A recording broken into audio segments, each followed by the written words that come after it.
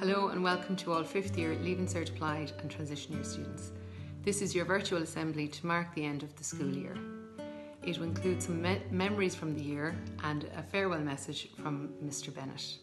I hope you enjoy it and I wish you all a very safe and restful summer and I look forward to seeing you all back in September as Leaving Certs. Take care. For all what was good during the past school year, both the things we remember and the things we have forgotten. We ask you to continue to take care of us during the summer holidays, keep us safe from harm and protect us from danger. Help us to enjoy the long hours of sunlight and be glad of the company of family and friends. We pray for all in the school community. May they have a happy summer. And when September comes round, may we be glad to meet together again.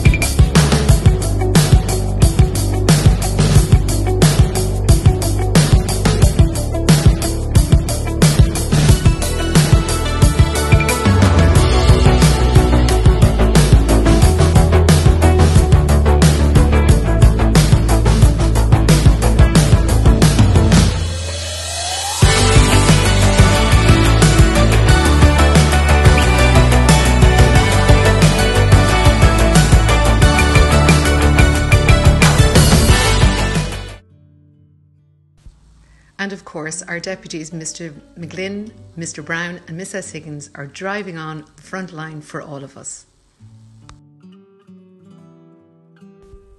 And finally, a farewell message from our principal, Mr. Bennett.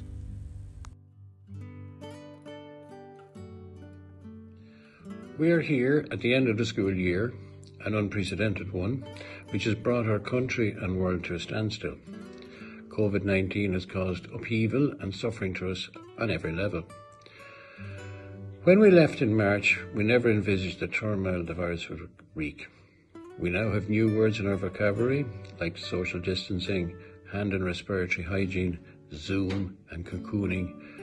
The new normal is shopping through screens and windows. We wear masks. But it now is summer, which brings sunshine and light, and there is light at the end of the tunnel. We are moving slowly out of the lockdown and can start to enjoy more freedoms. In all of this, you were great, engaging with your teachers and doing your best. It was delightful to see your smiles and kindness and good humour when you came into school to collect your books this week. It is a privilege to work with you and have you as part of our lives. We don't really know what sort of school we will open in September. It will have the same spirit and ethos, but it will be different.